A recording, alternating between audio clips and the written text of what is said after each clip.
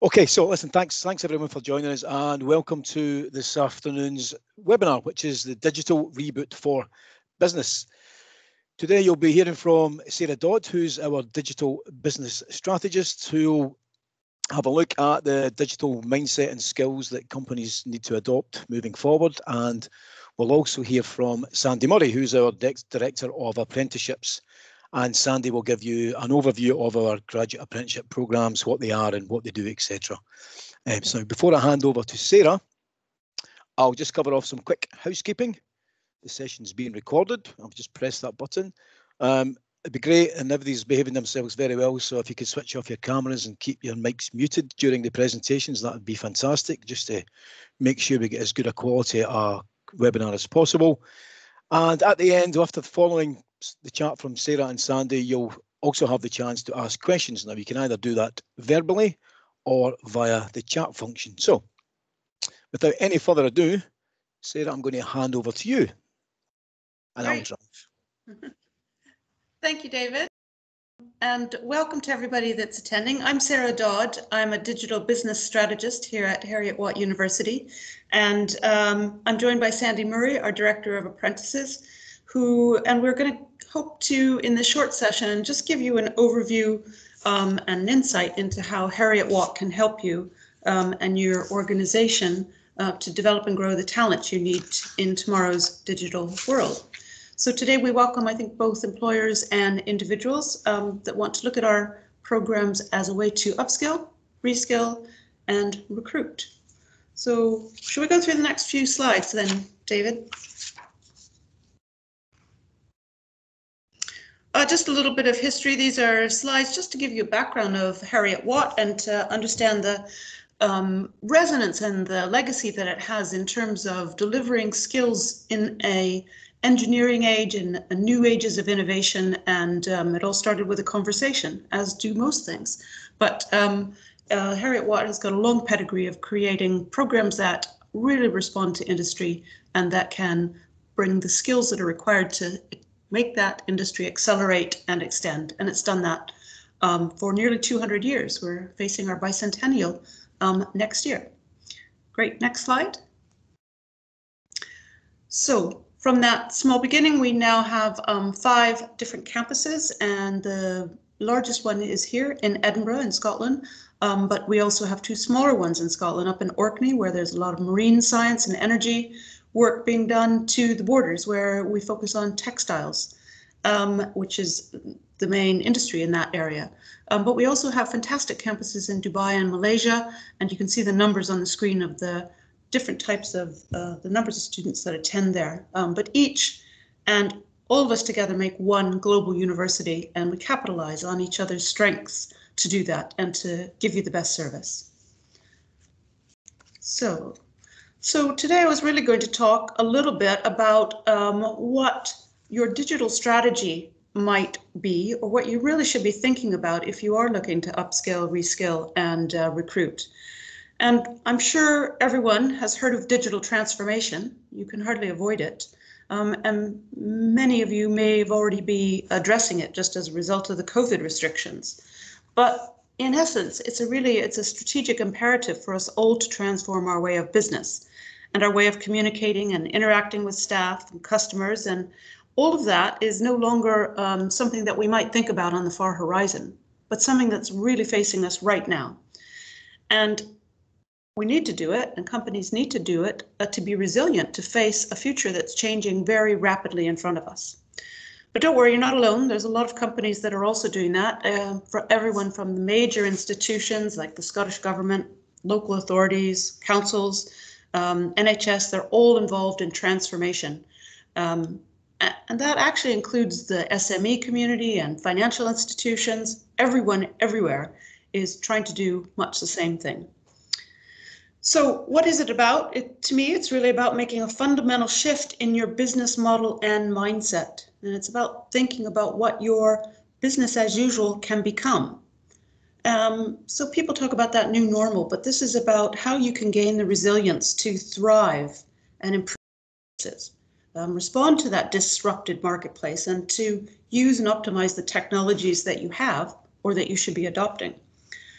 But in practice, it actually involves quite a few things. And a lot of it is reviewing and looking at upgrading and renewing your systems. People are working on old legacy systems that are really not capable of communicating with the wider platforms and media channels that we have today. It's looking at new patterns of working. We're all working in flexible environments. I'm sitting at my kitchen table right now. So that has changed. But to be flexible and adaptable is something your workforce wants and embraces. And I don't think we're going back to offices.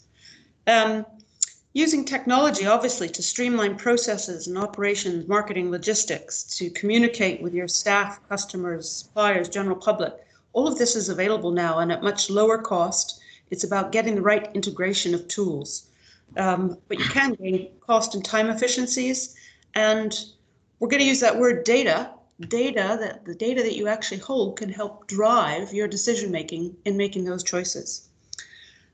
You also have to have a good underpinning knowledge of your technical infrastructure, of what connectivity you have, what the broad, broad bandwidth is in your area or the territory that you're selling to. You have to understand what your customers, your suppliers, and your competitors are doing um, so that you can work well and accelerate your business in this new model. But the benefits are great. You can reshape your business. You could embrace automation. You can connect with new markets, new audiences, and you're moving really kind of from a physical world to a virtual one, from standalone to the cloud. But the possibility there is that you can grow. So let's go to the next slide, Dennis. So adopt a digital mindset. Now, we talk about growth mindsets quite a lot in technology, which is about failing and being willing to fail and learn from that and grow ahead. In a digital mindset, I think we just need to forget the fear factor. And we need to refocus and set your sights on making your business a tech enabled business. So to do that, you have to assess your priorities and then look at optimizing what you have. Um, but to do this, you actually really need to focus on your people and you need to have people with the right skills and the right knowledge to do transformation and to get there. In fact, people are your biggest asset. So giving them the tools and the know-how to work can make a huge difference between um, achieving economic growth or stagnating, or in fact, we've seen a lot of companies downsize and have to um, reduce their economic activity. But it's all about embracing change. And I mean, if you think about it, in the pre-digital age, we had pre-digital ages probably in the 90s. Um, you, we had different channels for communicating. We had TV, radio, newspapers, and those they never talked to each other or intertwined. And then we slowly did another adaptation and we got PCs and we had software on it that we could write things in Word or Excel or PowerPoint and print off physical objects. And then the internet got us all engaged in new markets and starting to collaborate differently and connect differently. And everything was on now on multiple devices, on new platforms. There's services, channels. The world is changing beneath our feet. But actually, I think it's going to go further. And the next step is almost like a transformative age where the internet becomes almost invisible. And we're living in a fluid, seamless um, reality where content is collected and distributed in multiple media and where audiences are no longer separated by time zones or locations and where data drives the direction of production and delivery. And of course, everything lives in the cloud. I heard it said the other day at a digital innovation event that uh, cloud centric infrastructure will become the norm in 2021. That's next year pretty quick. So the question you have to ask yourself is, is your team ready to adopt, adapt, and deploy the technology to facilitate this change and to achieve the goals that your business needs to do? And if you don't, can you, you afford to lose the efficiency that digital offers and that your competitors will capitalize on? So let's look at digital skills in the next set.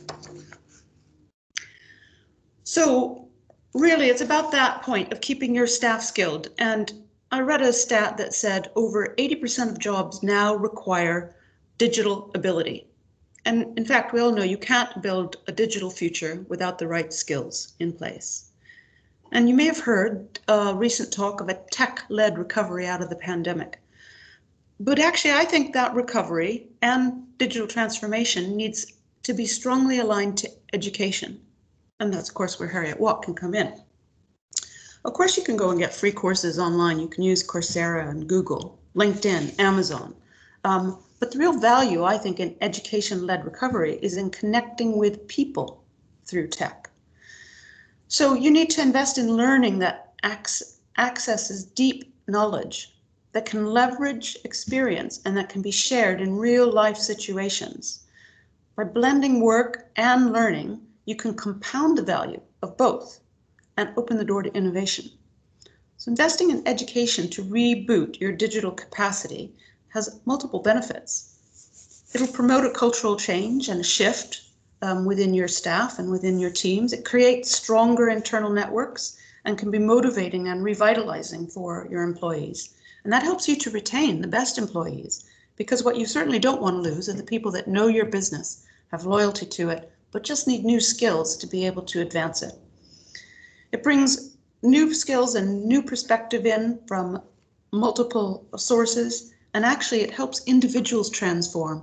And for individuals, I think I've read a stat that said 94% of individuals who knew that their company invested in their education and their continuing professional development would stay with that company. So it's well worth thinking about. So what do you need to do here? You need to get your team invested in, in, a digital mindset. They need to be looking at your business goals and reviewing how you can use the tools and technologies to achieve that. Um, they need to also be flexible and adaptable and embrace change. They have to keep retraining you can't stay in this tech world by training once and then leaving it for five years. To get engage in a lifelong learning cycle and to retrain at least every five years in tech, if not more often. And that's a way we're seeing a lot of is smaller, excuse me, modular courses that help people continue their learning throughout their working life. If you think about it, there's a lot of new jobs that have already emerged that are involving people with deep sector knowledge um, combined with tech. And you see that in vert, the new verticals like agritech or law tech or fintech. Um, so there's a lot of capacity for people on existing teams with new technologies to move ahead into new roles and to take on different responsibilities. I think when you're building digital skills, you also really are thinking about empowering your workforce and you're really wanting to make them digital makers. So if you need people that can develop applications and software or assess and analyze data or use digital marketing or deploy to the cloud, they need to be able to write programs to understand data, to feel comfortable and have a digital business acumen to tie all those skills together and make them work. We all know the value now of digital engagement. So reflecting on that, you can also think about what has changed in your marketplace and how it's become a digital marketplace and how tools like social media are changing how you access and sell your product to different um, audiences. The benefits really of giving your digital competency to your whole team are, are immense. And you will find that the collaboration and the creativity leads to innovation and that by bringing people together through that, you can actually take big leaps ahead in scaling and growing your business. So we'll go to the last slide, David. So upskill, reskill, recruit, here we are. And, you know, it, these are the three things that we think at Heriot Watt we can help you with. Um, when I looked at some stats, there was a, a KPMG report out with Harvey Nash recently, and it said that 67% of tech leaders could not find the talent they needed to do software development, to do become data scientists, to be IT business professionals who could solve problems, implement robust solutions, um, understand scale and sustainability. So it's really incumbent on us all to find different ways to keep our staff upskilled, reskilled, and, and to add new recruits to that list. One of our key programs at Heriot Watt is the Graduate Apprenticeship Scheme. It's bringing workplace learning right into your business um, and giving your staff that degree level education that they need to um, be deep thinkers and to understand what the application of these skills is. You can use graduate apprenticeships to upskill an existing employer, which will help them progress their career, future proofing their skills. You could reskill an, empl an employee from one role or department to another through a GA. Or you could recruit a new person and take them on a journey where they learn with you through your business um, the skills they need to gain a degree. We have three particular programs that I think were very strong in this suit. One's our um, software development for business. Another is SC honors in data science, and then we have an MA honors in manage, IT management for business. So I'm going to let Sandy take over. He's uh, the knowledgeable one about how these apprenticeships work and can take you through that. And I'm happy to answer any questions um, at the end that you might have. Thank you. Uh, good afternoon, everyone, and thank you, Sara, for the introduction uh, to myself. Uh, for those who don't know me, uh, Sandy Murray, Director of Graduate Apprenticeships here at Heriot Watt, and along with my team here at Heriot Watt, we're here to assist uh, you in achieving all the points that Sara's mentioned before and achieving the real potential within a range of employer-employee uh, skills that require for the future. Next slide, David, please. So what are graduate apprenticeships?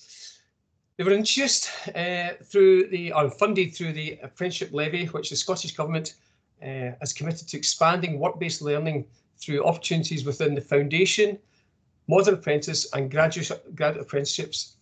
These are the apprenticeship family, as like to be called, and the Scottish Government are committed to continually increasing year on year the number of apprenticeships that are focused and working in the workplace. Graduate apprenticeships are designed to support employees to develop their workforce, uh, provide work-based learning opportunities for all. They've been created in partnership with industry and a range of further education and higher education sectors. The apprenticeships combine academic knowledge with skills development to enable a GA employee to become more effective and productive in the workplace. And we have seen evidence of that within the sort of six to eight months of starting a GA. The employee starts to add value to the company as they start to grow in confidence as the GA progresses. Next slide, David, please. So the graduate apprentice uh, rules, if you like, they, they have to have a role within a company based in Scotland and working in Scotland. The role has to be relevant to the degree programme they're undertaking, and they have to attend uh, at least one day a week uh, here at Heriot Watt. Now, at the moment, that's carried out via online uh, blended learning approach, and we see that continuing for foreseeable future. The GAs or graduate apprentices are here on their own merit, and it's based on a variety of their entry requirements, their academic qualifications and work experience, or a combination of all above. The university works with the employer, the graduate apprentice, to give the student every opportunity to succeed. And we hope the knowledge gained at the university will be embedded into the work, and this will quickly increase the business effectiveness on a day-to-day, week-to-week basis. Where possible, we involve workplace projects, which will count towards the overall degree evidence. As we go through the degree, the job role is relevant, and if you see the notable progression in professional terms and development, increasing their uh, knowledge base, skills and confidence within the workplace and others around them. The courses, are, as I said, are fully funded by Skills Development Scotland, and it's an opportunity to earn where you learn uh, while you undertake a graduate apprentice scheme here at Heriot Watt. Next slide, David, please. The range of courses we have, they follow an approved apprenticeship framework. They, uh, they're levelled at SCQF level 10, which is the honours level for a BEng, Bachelor of Science and a Master's degree uh, awarded here at Heriot Watt. There's no differentiation between a degree uh, a normal student, an undergrad student will uh, articulate from Heriot Watt with. It's exactly the same award. The evidence of the award uh, can be demonstrated through specific company projects, allowing the development of their skills in the workplace with some university exams to prove their overall ability.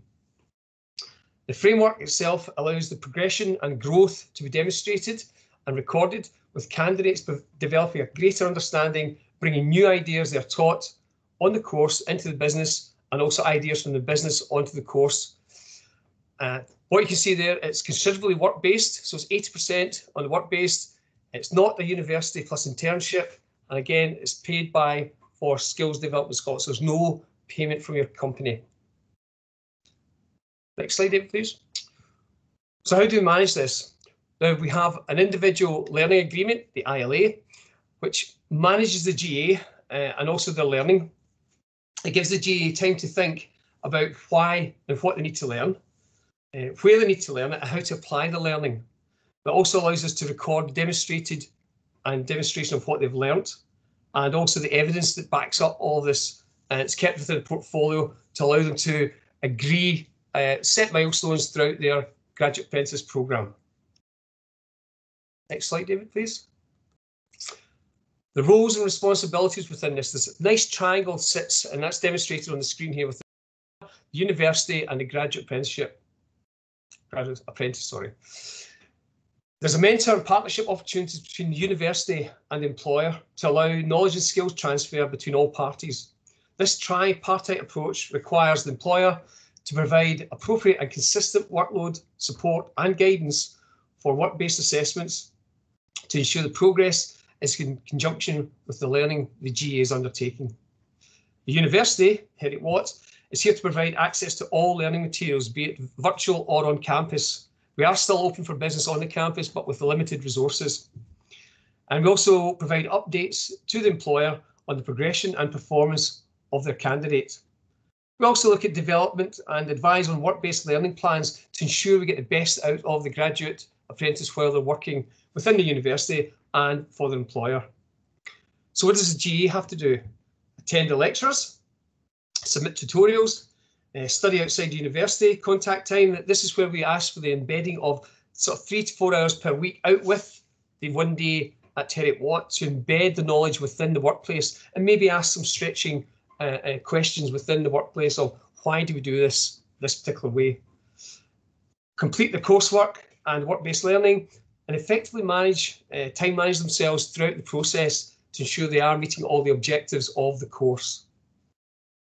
Next slide, David, please. So how do we do this?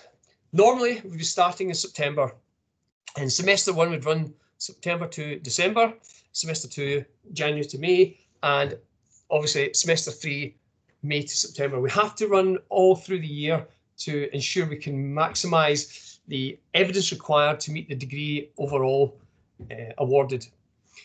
The GA can take vacation, and also this is the time management element of the course uh, by negotiation with the employer and the university. Next slide, David, please. Continuing delivery one day a week, as I said, an additional four hours or notional four hours of additional work to contextualise within the workplace. The delivery methods are flexible. Uh, it's not limited to the standard classroom. We sometimes infill with traditional stu students. Uh, it's led by different levels of our own academic teams here, professors and world leaders and experts in the key areas that have been taught. We do some distance learning as well, and also some directed uh, learning throughout the course. The projects are work-based orientated. That allows you to act actively participate in a work-based element or project that's happening to allow you to gain the knowledge experience and again add value to the overall uh, outcomes that we're trying to achieve. The projects are also uh, assisted by one academic and one industry supervisor, which will be nominated as the year uh, progresses. Key to remember, delivery methods may vary for each uh, and result in a careful, and must result in careful management uh, for each to achieve the overall final degree awarded here at Heriot Watt. Next slide, please. As Sara mentioned, we're focusing today on three key areas, which are the IT management for business, IT software development for business, and data science. But just as an FYI, we also have a range of other courses that are delivered here that support the upskilling and driving forward of the economy here based in Scotland. Next slide, David, please. Just give you a brief overview of the courses. Uh, these slides will be made available uh, after the, the, the show. Uh, just shows you the breakdown of each semester for the data science. And I've highlighted areas that are common to all three structures. So we see there's a thread running through all of the platforms uh, to allow the uh, the data or digital aspect of the uh, learning to come forward. Next slide, David, please. And the next one. I will just run through these so we can actually pick up later on uh, and we've got a discussion point on that.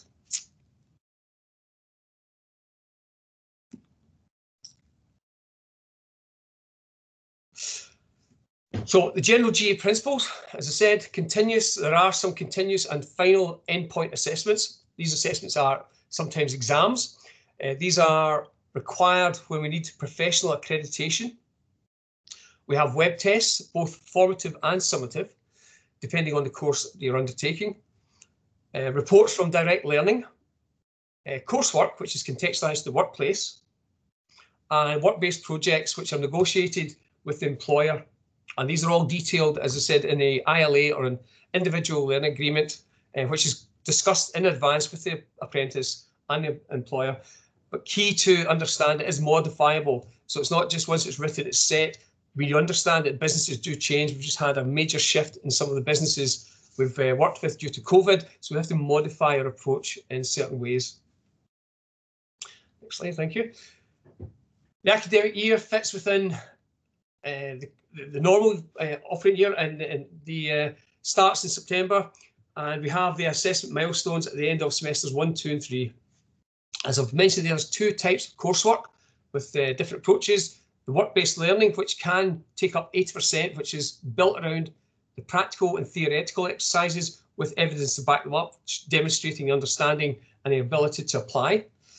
The content will be agreed with employer in advance to prevent any uh, breach of IP, and also core course work, which is 20%, which is assessed on the campus, and that may lead for may lead to some exams and also submission of coursework materials.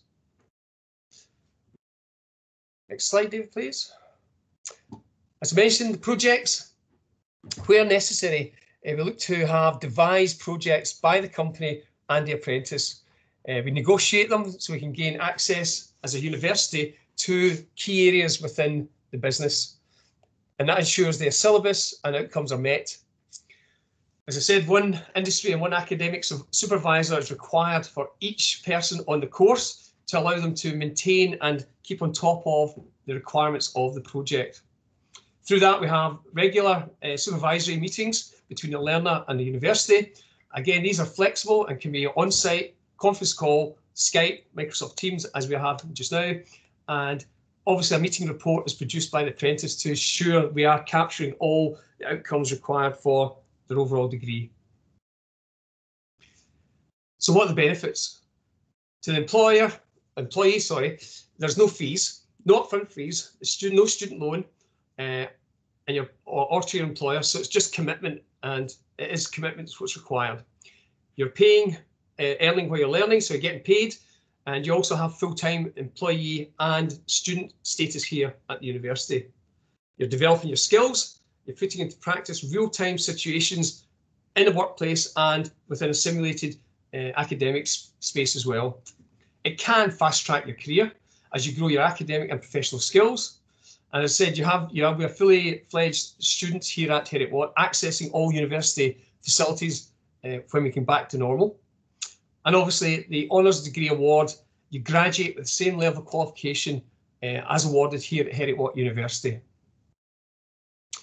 The next slide. The next slide uh, is taken from the uh, Skills Development Scotland, which was posted in March. The benefits for employers. Uh, the release data shows that 87% of employers noticed an improved workforce sustainability. Uh, and also it allows them to fulfill uh, fill gaps. So 72% uh, addressed the, gaps that they had. And also retention, retention was increased by 7% uh, and loyalty as well, because you are putting in a lot of time and effort into the individual and they're doing back. So we, we see that building of the loyalty and retaining the ability within the, the business.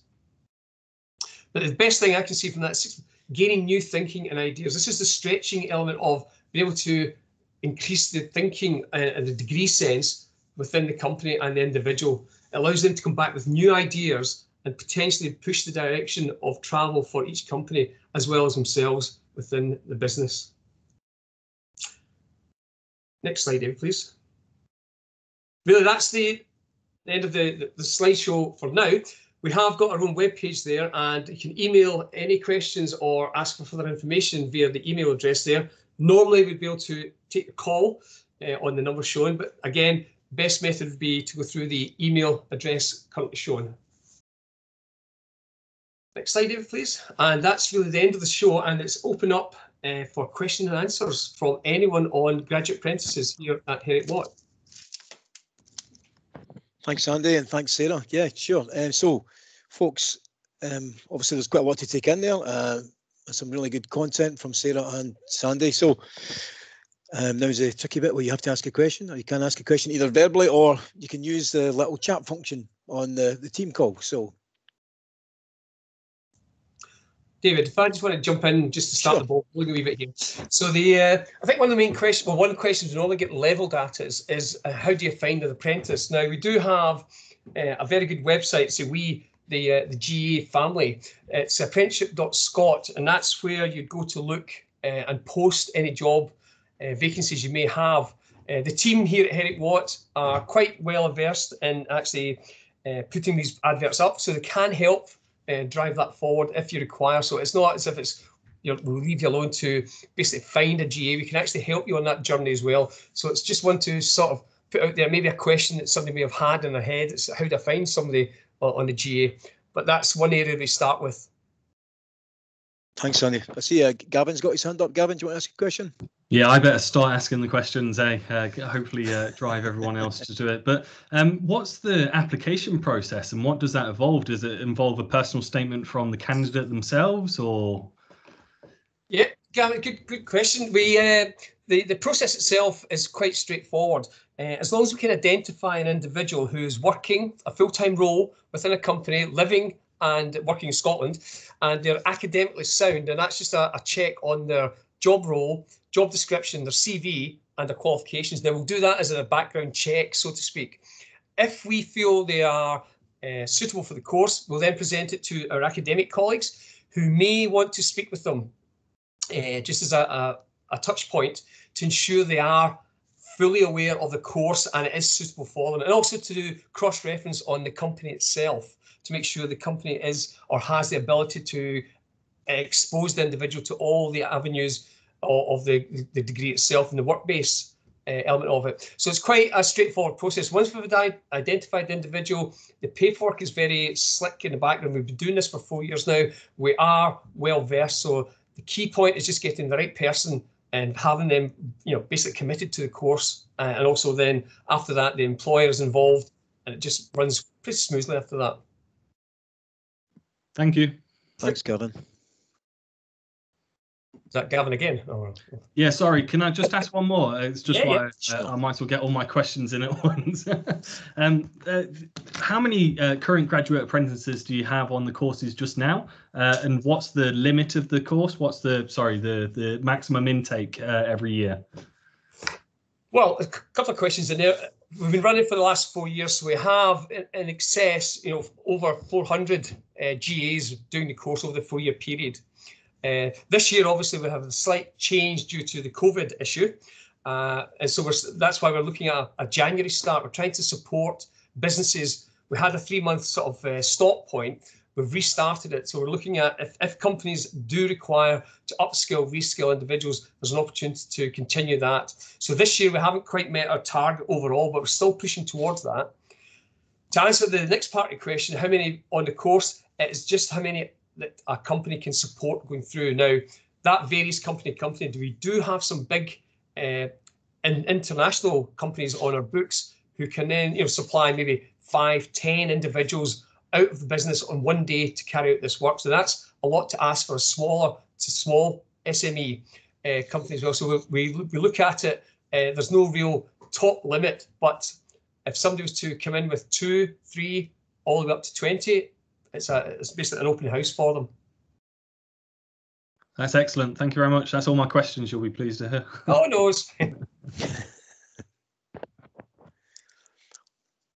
Sandy.